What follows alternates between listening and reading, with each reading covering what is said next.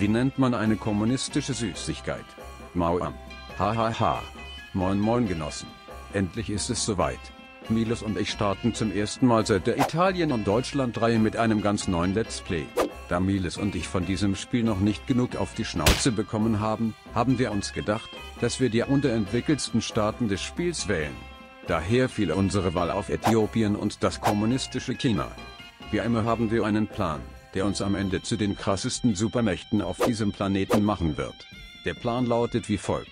In Phase 1 machen wir Äthiopien kommunistisch und Milis versucht sich in Asien noch mehr Wüste unter den Nagel zu reißen. Ist das geschafft? geht es los mit Phase 2, denn in dieser Phase wird Äthiopien versuchen, sein Militär auf den neuesten Stand zu bringen, um nach und nach immer größere Teile Afrikas zu unterwerfen. Währenddessen wird Miles einen Krieg mit dem republikanischen China beginnen, weil es nun mal nur ein China geben kann. In Phase 3 werden wir die Afrikanische Union ausrufen, so dass wir ganz Afrika zu einer Supermacht vereinen. Sollten wir bis dahin noch nicht komplett Matsche sein, werden Milos und ich den Kommunismus in Phase 4 auf dem ganzen Globus zur dominierenden Ideologie machen. Und jetzt viel Spaß beim Video. Moin moin Leute, herzlich willkommen zu einer neuen Folge von H204 mit Miles zusammen. Guten Abend, guten Nachmittag oder gute Nacht. Genau, diesmal ist es richtig gesagt. So, man muss dazu sagen, ich habe noch nie Utopien ähm, gespielt. Äh, zumindest nicht mit dem neuen Schwerpunktbaum. Aber wir wissen ja schon, wir wollen den kommunistischen Weg gehen. Deswegen ähm, mache ich Militärkommunismus. Fertig. Ja. So, gut. Kommunistisches China hat sich scheinbar nichts getan mit dem neuen DLC. Ne. Wäre auch verwunderlich. Genau. Warum dauert das Ich fange erstmal. Was? Ja, ich fange erstmal an mit dem ganzen Standardzeug. Shang-Chi, Mengoku, Tibet und so weiter und so fort. Okay. Genau. So. Weiß nicht warum, was dauert 333 Tage, wenn ich Bauwesen machen will. Egal. Okay. Ja, das ist mir gestern auch aufgefallen, dass du als Äthiopien übelste Mali hast. Ja, ist ganz komisch. Ich habe auch ganz komische Einheiten hier. Aber macht halt Sinn. Mhm. Ja, das sind so. Äh, wie schreibe ich die? Milizen halt. Ja, ich kann die auch nicht umbenennen. Gar nichts irgendwie. Nee, Doch, du kannst die hier geht. gar nichts machen. Die Schweizer haben solche Dinger auch. Oh, äthiopische Infanterie-Division. Ja, Italien hat die auch, habe ich gesehen. Wir machen Ferien in Algerien. Genau das. Ja, ich dachte, Algerien oder so hätte auch einen neuen bekommen. Klar. Gibt's so. Mal, so, let's fett. Kann ich mit dir schon handeln? Ich glaube nicht. Nö, sieht nicht so aus. Gut, dann handle ich halt mit den Sowjets. So. Ja, ich kann nichts bauen, weil ich jetzt Stahl brauche. Chillig. Und los. Äh, du hast aber richtig geile Politiker, die dir Mali fürs Ressourcen sowas geben. Also, dass du, wenn du Ressourcen Mali hast, du trotzdem mehr produzierst. Ach so, oder? Musst du gleich mal gucken. Was ist das du denn? Du hast richtig krank viele. Die Heat Cheated? Was ist das für ein Wehrpflichtsgesetz? Okay. Das ist ganz strange. Aber das sieht gut aus. Dadurch kriege ich Fabrikleistung, Baugeschwindigkeit und Schiffswerfproduktionsleistung hoch. Ja, aber dadurch kannst du halt nur eine gewisse Menge an Divisionen ausbilden. Mali und Mannstärke werden im Kriegsfall automatisch erhöht. Ja, muss mal gucken, wie man es wegkriegt. Die Hauptsache ist jetzt erstmal, dass wir kleine... Ich glaube, irgendwo Hä? kommunistische Schwerpunkte bauen. Ja, ich muss jetzt erstmal kleine Staaten angreifen. Ich weiß noch nicht wen. Mhm, ähm, als allererstes, warte. Sudan, ne? Genau. Nee. Doch. Doch, doch, Sudan. Nee, Asu, Asu. Das allererstes Asu. Oder wie auch immer es ausgesprochen wird. Ja, aber ist doch egal, oder? Die haben nämlich noch nee, viele das ist Divisionen. Kernregion. Ja. Würde ich machen. Das ist Kernregion, kriegst du günstiger und kannst dich schneller rechtfertigen gegen. Ja, ach guck mal, du kannst die Hitet hier auslösen, auflösen. Kannst du die entfernen? Ah, okay. Gut, ähm, antiimperialistische Agilation. Agitation, sorry. Ähm, ich will aber glaub, glaube erstmal wirtschaftlich was machen. Hier, nee, wo ist denn hier wirtschaftlich? Ich glaube hier. Jo, das sieht wirtschaftlich aus. Das in der Mitte müsste wirtschaftlich sein. Ja. Also das ist ja ganz rechts dein Politikbaum. Ja, hab schon. Ganz links ist Militär und mittig müsste ähm, dein ja, genau, mittig ist dein Wirtschaftsbaum. Ja. Okay. Und dazwischen und äh, zwischen der Politik und der Wirtschaftsbaum ist das Ding mit italienischem Krieg, aber der bringt ja nichts. Ja, ja, ich weiß. So, ich kann, ähm, Kräftegleichgewicht habe ich ja auch. Fällt mir gerade mal auf. Also, es kann sein, dass Äthiopien sich abspaltet in Kleinstaaten. Gut zu wissen. Ja. Privilegien der Mesafind erweitern.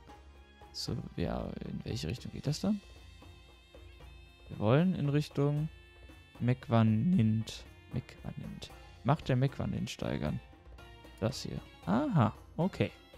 Lokale Straßenbau fördern. Wem bringt das jetzt was?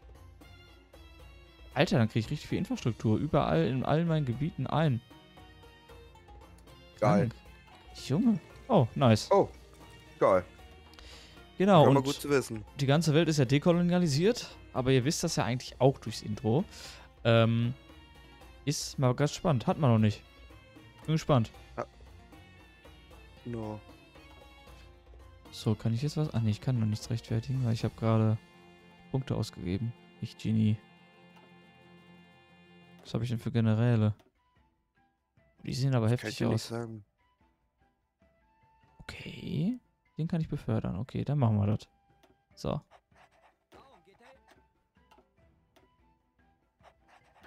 Ich sagte ehrlich, die skandinavischen, ehrlich? die skandinavischen Länder bräuchten auch mal ein Rework. Ja, die könnten alle einen geilen Schwerpunktsbaum bekommen. Wobei, Die haben ja jetzt- schließlich zumindest schon mal eine Reich, was die alle erobern können. ja, aber das ist halt kein Re Rework. Das ist ja eigentlich, die haben ja nur den Basic-Fokusbaum. Ja. So. Staatliche Industrie oder lokale Entwicklung fördern. So, Forschungsgeschwindigkeit plus 5, Baugeschwindigkeit plus 5. Wollen wir nicht mal ein Video bringen, wo wir ganz Vanilla spielen? Machen wir doch. Ohne Achso, Mod? stimmt. Ja, wir können auch die erste Entwicklerversion spielen. Nur ganz basic halt. Könnte man mal machen. Also Leute, ihr könnt gerne mal in die Kommentare schreiben, ob ihr Bock drauf hättet, wenn wir vielleicht mal die erste Spielversion von Hearts of Iron äh, spielen. Und halt dementsprechend ohne Mods, ohne DLCs und ohne, Ohne alles halt. alles. Vanilla. Einfach. Ganz Vanilla, allererste Spielversion. Ist eine nice Idee. Wahrscheinlich wird der Multiplayer-Modus gar nicht wirklich gut funktionieren. Aber das kennen wir ja. Mhm. Gut. Junge, was hat er Ja. gesagt? Das hat sich angehört wie Pikachu, was er gerade gesagt hat, mein Generalmann. So, Kann ich dir leider nicht sagen. so. Weil ich kann weder. Wer sprechen hier in Äthiop Äthiopien Äthiopisch? Äthiopisch? Boah, keine Ahnung. Ich denke mal. Gut. Ich habe eine Armee von 105.000. Das ist für Äthiopien schon heftig. Krass. Meine Fabrik braucht. Ah, warte, meine Fabrik braucht noch bis 22. September 1952. Wow. Das ist die längste Zeitspanne, die ich in diesem Spiel je gehört habe. Jetzt bis 1944. Das ging schnell. Mhm. Okay, so, jetzt kann ich anpassen und verbessern. Oder ich kann Fabrikleistung steigern. Äh, Fabrikleistung steigern, ist glaube besser. okay. Gut. Rechtfertigung wird gerechtfertigt. Jawohl. So. Okay. Was ist das denn hier Okay. für ein. Achso, das ist dieses Chi- Chilet auf. Nee, warte mal. War elektrifizieren. Die Dörfer mit Strom zu versorgen ist ein wichtiger Faktor bei der Modernisierung des Landes. 30 Tage Fabriken für Konsumgüter, 5% da drauf und lokale Baugeschwindigkeit plus 10 und Bauplätze plus 10. Ja, mache ich. Hä? Das wird mir hier gar nicht angezeigt. Warte mal, klein, klein Ereignis Pop-up soll er mir doch soll er mir auch zeigen. Cobra. So. Jetzt wird das gemacht. Guck mal, guck mal bitte einmal Richtung mich. Ja, Und, äh, bist du bei mir? ja. Siehst du das? Ich habe da oben jetzt gleich aber zwei Divisionen eingeketzelt. Also Ich, ich kenne einen Trick, den du immer machen kannst. Damit geht das richtig, richtig schnell, aber ich glaube, jetzt ist schon zu spät.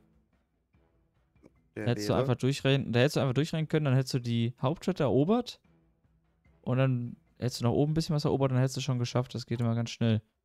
Aber passt schon. Das kriegst du, Ja. denke ich mal, eh hin. Kann es sein, dass wir es irgendwie vereinfacht haben? Boah, keine Ahnung. Früher war es auf jeden Fall echt schwer, aber mittlerweile ist man auch ein bisschen geübt, ne? Ja gut, mittlerweile kennt man das irgendwie alles besser. Mittlerweile kennt man das Spiel halt auch mehr mit seinen Marken und Töten. Ja. Äthiopische Industrie- und Baugeschwindigkeit plus 10 oder Obergrenze der Produktionsleistung plus 5, Reparaturgeschwindigkeit plus 10 und Fabrikverteidigung gegen Bombardierung minus 10. Ich glaube, Schwierig. Baugeschwindigkeit ist schon geiler. Ja, finde ich auch. Ich glaube, ich gehe jetzt auch mal auf konzentrierte Industrie. Mach ich jetzt mal. So. Gut, Bro, die, jetzt, der Weg Richtung Hauptstadt ist. Kann es sein, dass hier unten die Provinzen irgendwie geändert haben? Dass es hier unten jetzt mehr Provinzen gibt? Wo meinst du? Unten in Jang, äh, unten in Jiangxi. Nö, Ich hoffe, das war richtig ausgesprochen. glaube nicht. Obwohl Ordos kommt mir irgendwie. Ey, warte mal, Ordos? Kann sein, dass ich es geändert habe. Jiangxi selber wirkt so viel, viel größer. Achso, nee, das ist irgendwie. Nee. Okay. Nö. Gut, ähm, mach ich mal was Richtung Kommunismus jetzt vielleicht? Ich mal das so. Okay, wie kommunistisch bin ich denn? Ich glaube, ich kriege gerade noch nichts dazu. Doch, kriege ich. Plus 0,05 pro Tag, auch gut, okay. So, das Mächtegleichgewicht ist ziemlich gleich. Das ist gut. Und Einheimische beschweren sich über schlechte Behandlung. Es hat- uncool. Es hat mehrere Beschwerden gegen die lokalen Herrscher von Velo gegeben. Das Volk fühlt sich von der Aristokratie schlecht behandelt. Eine erste Untersuchung der Angelegenheit hat gezeigt, dass die Beschwerden zumindest bis zu einem gewissen Grad berechtigt sind. Ein Eingreifen der Zentralregierung wird jedoch von den Adligen nicht wohlwollend betrachtet werden. Wir müssen hier ein Exempel statuieren. Dann geht es halt zu der Seite das Mächteverhältnis, die ich halt möchte. Oder halt andersrum. Ja, komm haben wir ein Exempel statuiert. So, schön. Sehr, sehr gut. Okay. Dann brauche ich noch für die Ich habe gerade Angriffsbonis gekriegt. Ja, das kann sein. 145 Tage, okay. Passiert. Ist nix, nix Neues. Oder was hast, oder hast du einen Schwerpunkt gemacht und meinst jetzt so? Nein! Ja, dann. Ist doch geil. So, der Sudan hat immer noch nichts hier. Okay. Oh, Leute. Echt, meine Divisionen sind doch ein bisschen doof. Otto übernimmt die ungarische Krone, okay. Und im Namen des Volkes kann ich jetzt machen. Er hält das Ereignis Putschversuch gegen Haile Selassie. Er schafft zwei Elitedivisionen der kommunistischen Roten Garde und drei Elitedivisionen der anarchistischen Schwarzen Löwen in Addis Abeba. Ähm, er hält das Ereignis kommunistischer Putsch in Äthiopien. Mach ich das? Muss ich ja. Keine Ahnung. Ich mache es jetzt. Ja. Aber warte mal. Ja, ja doch, komm. Ich habe nämlich gleich einen Krieg und nicht, dass ich jetzt den deswegen. Ja. Naja. Gut, dann machen wir es trotzdem. Passt schon. So.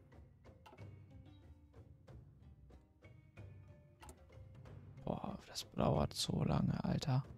Krank. Wie lange diese Fabriken brauchen. Aber gut, wie groß meine Armee? Ach, meine Bevölkerung. 10 Millionen habe ich. Das haben sie nicht geändert. Das ist anscheinend immer noch gleich, aber macht Sinn. Macht Sinn. Bauplätze minus 30 und lokale Baugeschwindigkeit auch minus 30 wegen Staatsentwicklung. Äh. Okay. Teilmobilmachung. Okay, gut. Kommunistischer Putsch in Äthiopien. Okay, Putschversuch gegen Haile Selassie. Heute haben Mitglieder des Militärs und der antifaschistischen Organisation Schwarze Löwen einen Putsch gegen die Regierung von Haile Selassie in die Wege geleitet. Der Kaiser war gerade dabei, die Truppen zu inspizieren, als eine Gruppe verärgerter Soldaten sich gegen ihn und seine Offiziere wandte und sie verhaftete. In der Zwischenzeit übernahmen die Schwarzen Löwen in Addis Abeba die wichtigste Infrastruktur einschließlich der Residenz des Kaisers. Viele Loyalisten aus Militär und Polizei wurden in kleinere Gefechte getötet. Doch das, was von Äthiopien noch übrig ist, steht nun unter der Kontrolle einer provisorischen Regierung. Da der Großteil der Bevölkerung vom Krieg gegen Italien erschöpft ist, hat sie die Autorität ihrer neuen Regierung einfach akzeptiert. Die erste Entscheidung der neuen Regierung ist nun über das Schicksal von Haile Selassie zu entscheiden. Okay, da kriege ich halt Kommunismus und neue Regel kann weibliche Einheitsanführer generieren und kann weibliche Staatsoberhäupter generieren. Ja, das hatte ich gestern auch. Oder ich nehme das andere, da kriege ich aber auch Kommunismus noch mehr. Schwarze Löwen übernimmt die Regierungsgewalt, es werden keine öffentlichen Wahlen abgehalten. Die kommunistische Partei heißt jetzt die Übergangsregierung. Und ja, aber ist beides dasselbe. Ey, ist beides dasselbe, nur bei dem einen verliere ich noch Basisstabilität. Dann nehme ich lieber ein bisschen mehr Kommunismus. So. Jo. Gut. Was brauche ich denn? Für die Union Afrikas kann ich. Ich kann beide Wege gehen, scheinbar. Ein Appell an die Welt. Kräftegleichgewicht bewegt sich Richtung Anarchisten oder Richtung Kommunisten. Die Sowjetunion wird als Gegenleistung für ihre Unterstützung eine größere Kontrolle über unsere internen Angelegenheiten erwarten. Oha. Sowjetische Gewehre. Okay, hier werde ich anscheinend zur Marionette. Das wäre uncool. Das wäre sehr uncool. Ein Appell an die Welt. Okay. Ja, aber will ich jetzt zur Anarchie werden? Ich weiß ja nicht.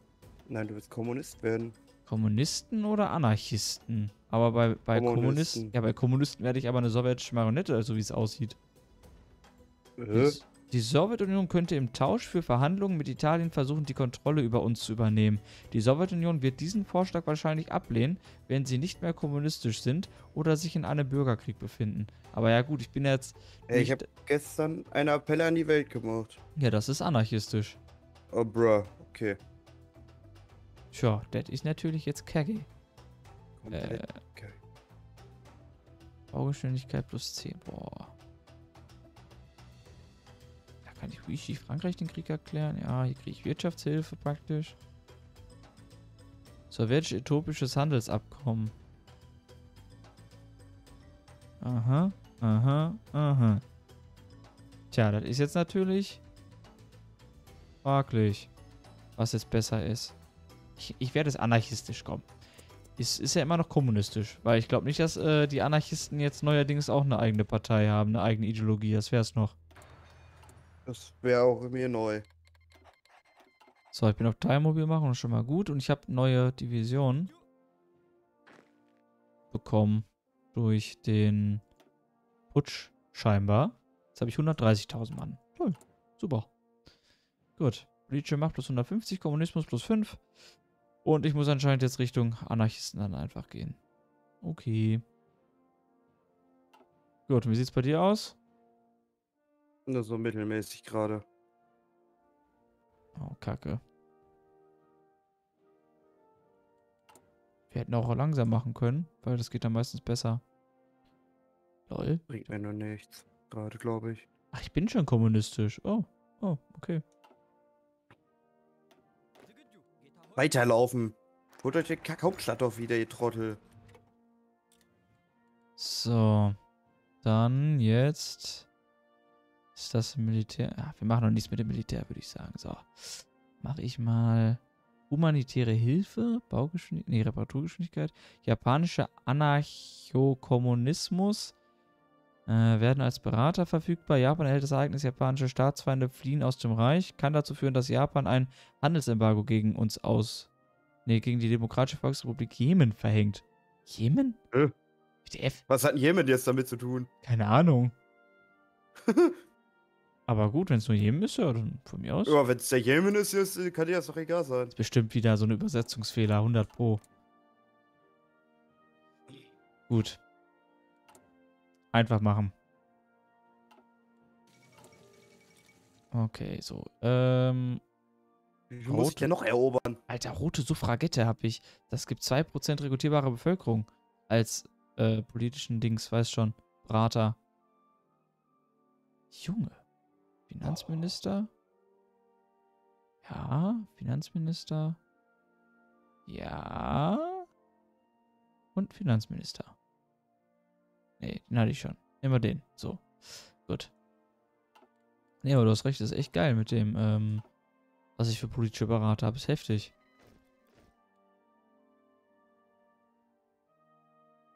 Ah, du bist ja aber wenigstens vor der Hauptstadt.